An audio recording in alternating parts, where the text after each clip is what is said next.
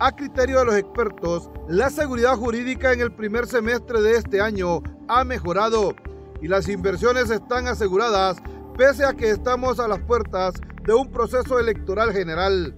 Yo creo que sí, hay bastante seguridad jurídica. Eh, yo siento que a nivel de los tribunales hay una perfecta cobertura de lo que es eh, eh, el campo jurídico, el Ministerio Público, creo que esta Fiscalía está actuando mejor que las anteriores.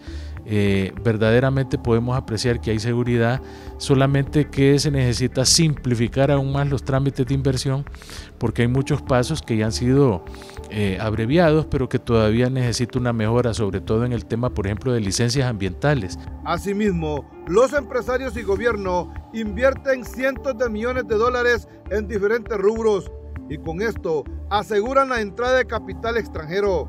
Yo creo que sí lo hay, hay muchos proyectos de, inversión. Estamos ah, además ah, contentos de que el gobierno está empezando a invertir en, por su cuenta en carreteras y en otras cosas que son muy necesarias. Eh, el momento que está viviendo Honduras es un momento de, optimismo, te diría yo. Yo no conozco de nadie eh, que trabaje eh, ¿cómo te diré?, legalmente que haya tenido problemas con su, con su propiedad. Honduras tradicionalmente respeta la propiedad privada y este gobierno en particular también lo hace.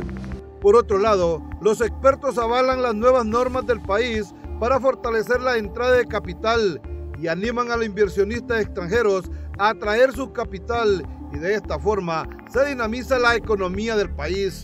Sí, sí se puede traer la inversión y sí puedo decir que hay seguridad jurídica en Honduras. Naturalmente que sí, la inversión es lo que nos trae trabajo, es lo que nos trae nuevos impuestos, lo que nos trae sobre todo empleos, que es lo que más necesita Honduras. Estamos trabajando en el 2020 para, para traer a, eh, inversiones de ese tipo eh, y creo que sí eh, vendrán con el tiempo pero no será un solo gran proyecto, habrá un montón de proyectos medianos, pequeños y chicos.